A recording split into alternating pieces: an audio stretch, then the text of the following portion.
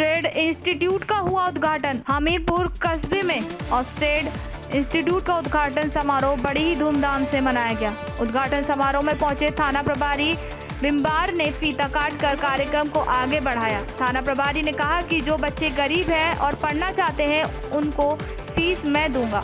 वहीं कार्यक्रम में पहुँचे जनप्रतिनिधियों ने भी अपने अपने विचार व्यक्त किए। कार्यक्रम में राजशेखर प्रबंधक और state group of education Ram Babu Prabhakar, Atul Singh, Shimbu Bhadauriya, Mayank Vikas, Rajneesh Rashmi, Kiran Bharti आदि लोग मौजूद रहे। Bureau chief Dinesh Kumar Savita.